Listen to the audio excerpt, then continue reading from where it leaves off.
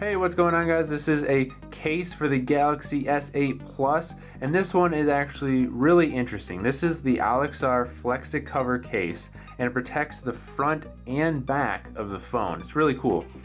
Uh, so the case is actually two parts. Um, we have a back piece and a front piece, and they're both transparent and super, super thin. So to put this on, you first put the back piece on, and that is it's a loose fit because the front piece is going to overlap the back piece. So then you put the front piece on and that goes over the top of the back piece like so. So it does take a little finagling to get it on uh, but once you do get it on it should look like this. And so now both the front and the back are completely covered in this super thin TPU material. And the display still works like you would expect because it's so thin um, you can interact with the phone just like you normally would. No issues there at all.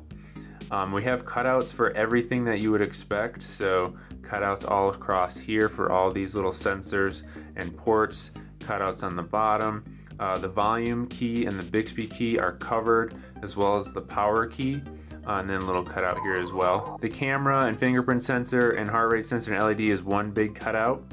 Um, and this material is just very, very thin. You can kind of see uh, on the camera there how just thin that is. Um, and there's like this little dot pattern that you can see as well. Um, and that's on the front too.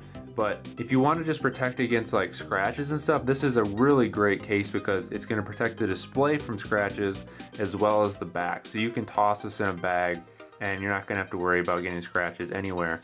Uh, and it's cool that you can still use the display um, with the case on as well. So if you want something really, really thin, you want full protection, uh, and you don't want to give up the, the look of the phone, this is a nice case. It's the Olixar FlexiCover for the Galaxy S8 Plus. Thanks for watching.